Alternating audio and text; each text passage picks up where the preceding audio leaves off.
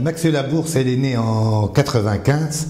Donc euh, bientôt on, va fêter euh, notre 20e euh, anniversaire, Inch'Allah 2015.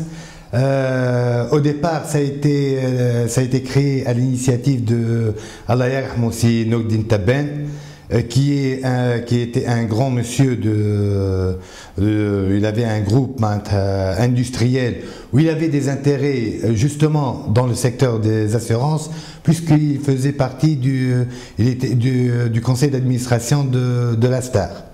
Donc notre connaissance avec le secteur euh, des assurances déjà dès la création de, notre société. Euh, Bourse, au départ, c'était euh, créé pour gérer un peu les, euh, intérêts du groupe de Sinogdin. Après, après depuis 1997, précisément avec euh, la venue de Sierra Awedi, qui est l'actuel euh, PDG, une autre dimension où elle se développe sur le marché.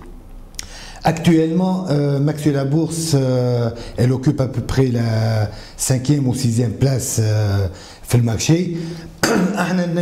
On est les spécialistes du secteur des assurances. Allez, en 95, c'était nous l'introducteur de, la star avec euh, la Sophie dans le temps.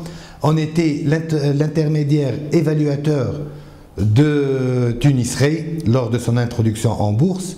On était l'intermédiaire évaluateur lors de l'opération de, de, fusion entre la Cotunas et Assure Crédit.